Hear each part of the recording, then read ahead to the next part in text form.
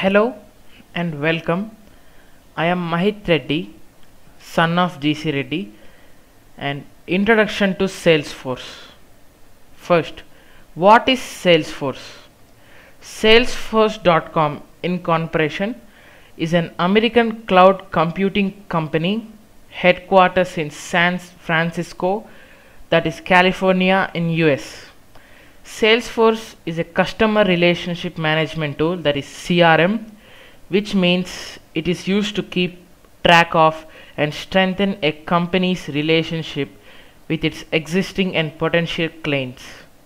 Next, how does Salesforce work? When you are using Salesforce, there's a good chance you'll employ five main data objects to keep track of your sales process and lead generation efforts. These objects are accounts, contact, opportunities, leads, and campaigns. Accounts are the companies you deal with. Contacts are the people at those who accompanies. And opportunities are the deals you are making with those companies to sell them your product or service. Salesforce is an account centric CRM, so contacts and opportunities are always linked to an account. Leads are separate from those three objects. They are people who have shown some interest in your company but not enough to take the next step in the sales process.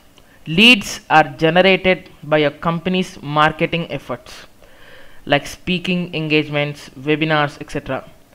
And campaigns are Salesforce way of keeping track of marketing efforts say Mark goes to a conference and gives a talk.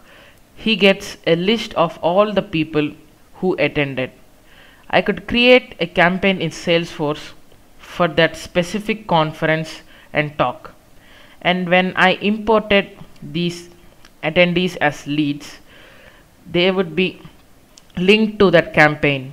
Campaigns are a good way to track where your leads are coming from and how your marketing efforts are doing.